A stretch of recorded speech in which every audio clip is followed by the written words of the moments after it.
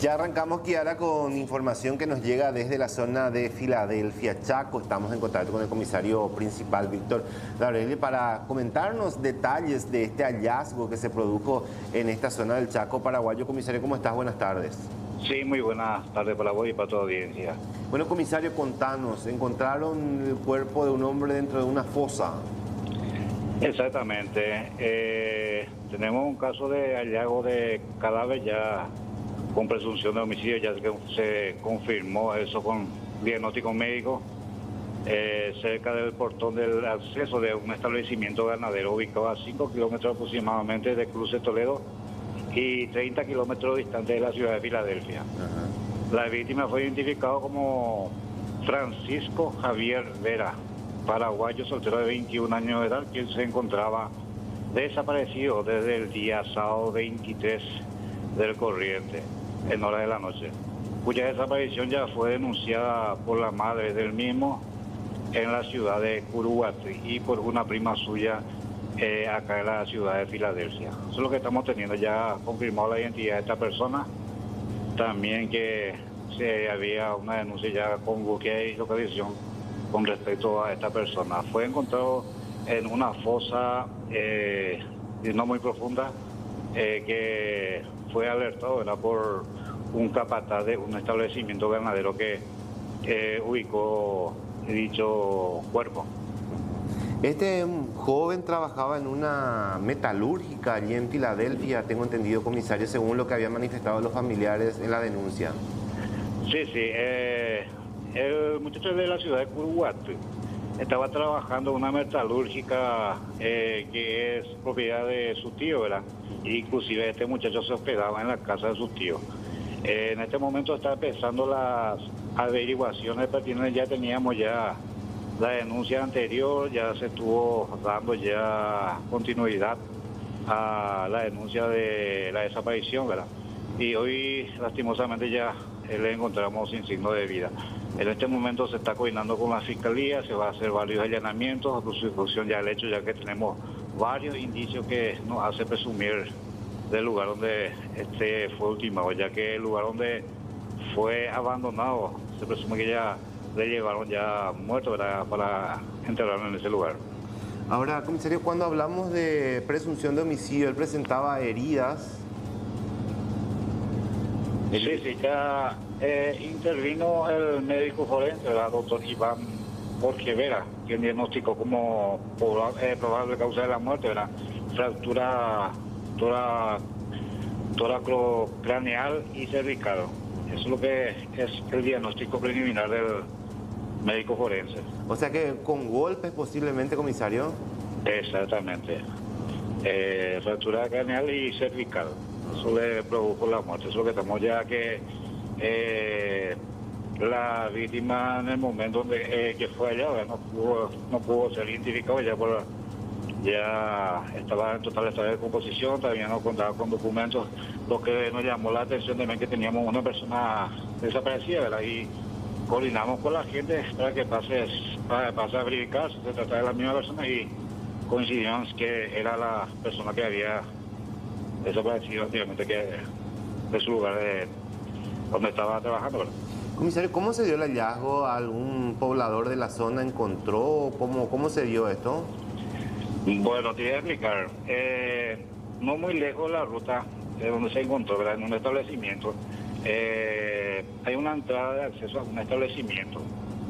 El propietario de ese establecimiento, cuando iba a ingresar, bajó, abrió el portón y observó varios cuervos ¿verdad? que estaban inmediaciones del, del lugar. Por lo que presumió que se le había frenado alguna vaca, ¿verdad? por lo que dio participación a agentes de seguridad ciudadana acá de nuestro departamento, se constituyeron en el lugar y verificaron. Eh, prácticamente ya ah, se notaba yo, se notaba ya la salida ¿verdad? De, de uno de los codos ¿verdad? de esta persona.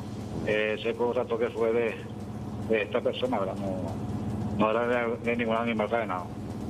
La reiterar esto que es importante, comisario, la presunción es que el homicidio se dio en otro lugar y ya en ese sitio nada más depositaban el cuerpo de este joven. Sí, sí, sí. Se observa el rastro de un de huella ¿verdad? de vehículo que ingresó al lugar, ya que hace poco eh, hubo un poco de lluvia por acá. Y lo que presumen los investigadores es que se, se le trasladó de otro lugar donde había ocurrido el homicidio y a bordo de un vehículo posible trasladaron para el interior de ese lugar. Finalmente, comisario, ¿qué se sabía de él, eh, de cómo se dio su desaparición, del lugar donde él estaba? ¿Fue visto por alguien? ¿Él dijo que iba a salir o fue así una desaparición sin que nadie haya visto nada? Eh, hay gente que, que está viendo en este momento, está declarando la fiscalía. Como le dije, nosotros ya teníamos ya una investigación abierta con la, con la denuncia de la desaparición de esa persona. Y eso ya estamos dando a cabo. En ese menester ya se está solicitando la orden de allanamiento de varios locales donde se le vio por última vez, donde estaba con quién estaba esta persona. Ahora, eh, él hace mucho que estaba trabajando allí por Filadelfia. ¿Qué datos manejan, comisario? Eso no le, no le puedo conocer, no tenemos conocimiento, pero él es de Curuguat. De Curuguat. Y trabaja en la casa de su tío, ah, acá en Filadelfia. Ah, prácticamente son todos parientes.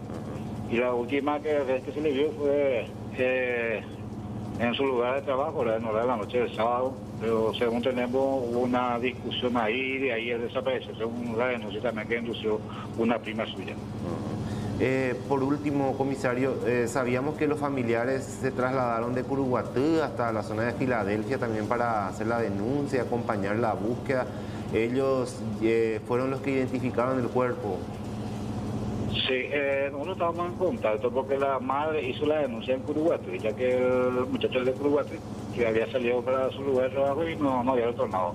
Pero el muchacho estaba hospedado en la casa de su tío, que es, prácticamente la hermana de, la madre, el hermano de la madre. Son todos familiares y ellos vinieron ya ayer justamente en coordinación con nosotros, ¿verdad? Eh, se hospedaba justamente en la casa del tío, donde vivía los muchachos.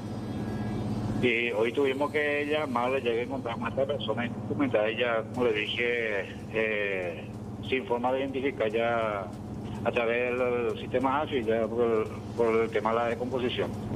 Entonces ellos pudieron reconocerme para algunos rasgos y la ropa que vestía. Exacto.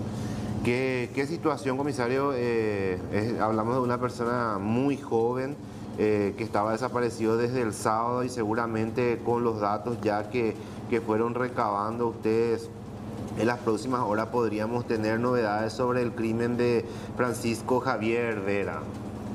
Exactamente, están gente de, criminalística, de investigación del departamento, sección seguridad ciudadana, comunidad local, todos estamos encabezando esta investigación.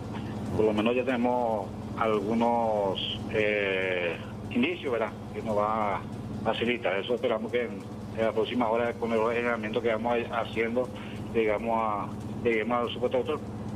Comisario, vamos a estar muy pendientes del trabajo que realicen en la zona. Seguramente vamos a estar en contacto nuevamente cuando haya novedades. Muchas gracias por tu tiempo. No, no, vamos a estar en contacto, agradecido. Muchas gracias, comisario principal Víctor Daurele. Ayer, cuando terminábamos Tarde Noticias, publicábamos esta fotografía, la de Francisco, reiteramos su nombre, Francisco Javier Vera, tiene, tenía 21 años, él es de la zona de Curuguatú, estaba residiendo en la casa de su tío en Filadelfia, Chaco, trabajaba en una metalúrgica y desde el sábado ya no lo vieron por ese lugar. Su familia preocupada porque no había informaciones sobre él presentó la denuncia ante la comisaría y a partir de allí empezó la búsqueda. En el transcurso de esta jornada, trabajadores de un establecimiento fueron advertidos por la presencia de una gran cantidad de cuervos en el lugar. Fueron y encontraron lastimosamente un cuerpo allí que había sido enterrado, rastros de vehículos. También eh, durante el procedimiento el médico forense determinó que se trata de un homicidio y que murió a raíz de golpes que recibió este joven de 21 años. De hecho, que hay muchos testigos que lo vieron por última vez, están declarando en estos momentos y eh, en las próximas horas se podría tener novedades con relación a este caso, reiteramos, ocurrido hace un par de horas nada más, allí en Filadelfia, Chaco.